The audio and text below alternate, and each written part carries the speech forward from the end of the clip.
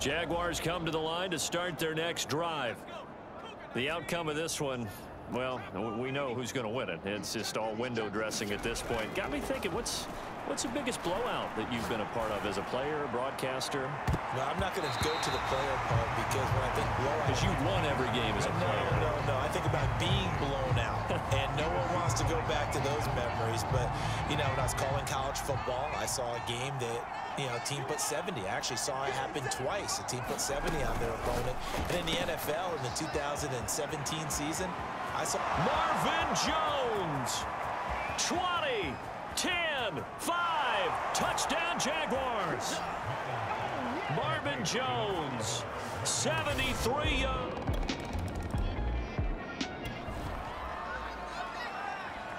Both offenses have been clicking in this one. A lot of points on the board. We'll see if that trend continues.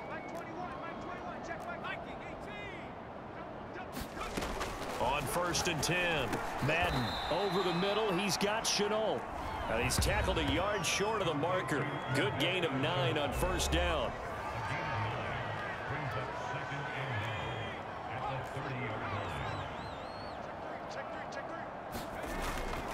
Off play action. Madden. And a catch made by his tight end, Luke Farrell. And all the way down inside the 25 before he gets out of bounds. It's a big play for the Jaguars. No let up in this passing game. They've been a well-oiled machine throughout. And actually saw a few guys on the sidelines at the end of the third quarter doing the old hold up four fingers college sign, meaning the fourth quarter is ours. And they certainly weren't kidding. Flush to his right. And this turns into a nice gain with a slide at the end.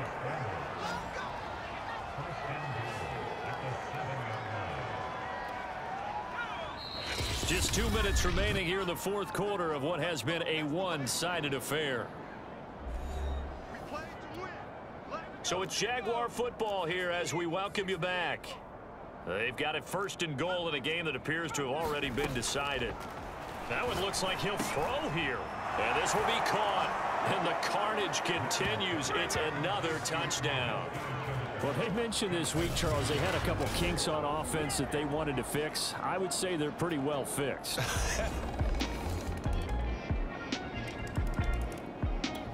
Jaguars come to the line to start their next drive. They have that feeling that has to be the best. You just go out and complete control of this game here for hopefully one final possession. And it's a culmination of preparation that began with something along the lines from the head coach of, we're going to win this weekend, and here's how we're going to get it done. And covered all the details that went into it. They practiced them. They went over them. They tweaked the game plan as the, as the week went on. And to find it all coming together and see it finish this way, Makes them happy. Oh, that's satisfying for them. Yeah, they were very, very good. And now off to the oh, races down the right side. And they are going to score again. Yet another touchdown as they just add to their totals. Well, partner, when a team's up this big, this late in the game, I always wonder what's their motivation because if it's me, I'm thinking about pulling on the reins a little bit. But for them, I don't think it's in their DNA. It's not in their head coach's makeup at all. I think his opinion is A big offensive explosion helped leading them to victory. And the defensive guys, they're just saying, hey, put those points up every week. We'll just keep winning. They will gratefully accept them, won't they? It makes their job that much easier when they're scoring that many points. Allows them to play with a totally different style and a different flow. So for the Jaguars, they are now two wins away from a perfect regular season as they run their mark to 15 and 0 on the year. And they'll get another road test next week as they head to New England to take on the Patriots. Meanwhile, for the Jets, they fall under 500 now as they drop to 7 and 8. And they'll look to get back on the beam next week as they host the Tampa Bay Buccaneers.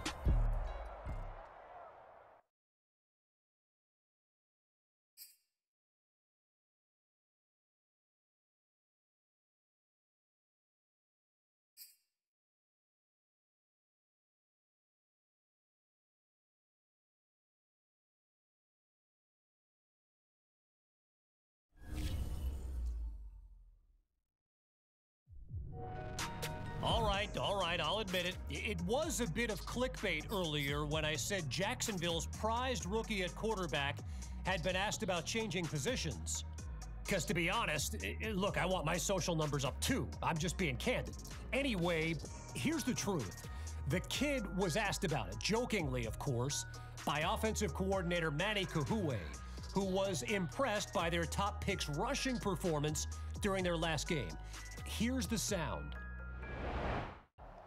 Hey, let me ask you something real quick and be honest. What's up, coach? You trying to move to running back? nah, coach. nah, nah, I'm good. okay, okay, just making sure. Hey, I love how you're running the ball out there. Keep it up. So that's actually how it went down. Just a fun little exchange on the sideline. Which leads us to a different kind of exchange that took place after the game. And even now, I'm not exactly sure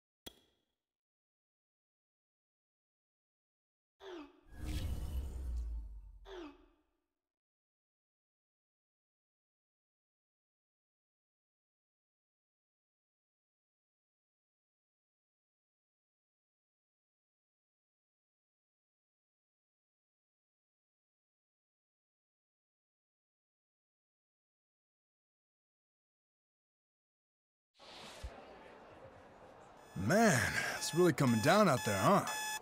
Don't get anything like that on the West Coast where I'm from. So, how you feeling about the game plan?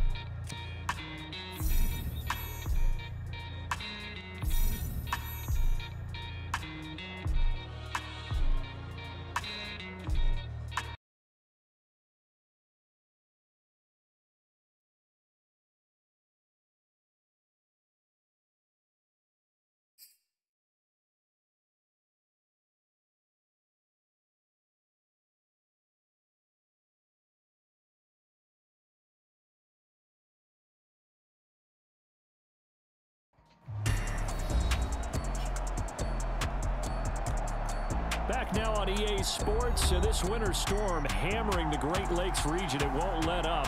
Through it all, these two teams have been battling it out in these treacherous conditions. 14-7 our score. And now a big sequence coming up. A first and goal with a chance to tie up this football game. Back to throw. Madden. Got his man. It's caught. Touchdown, Jaguars.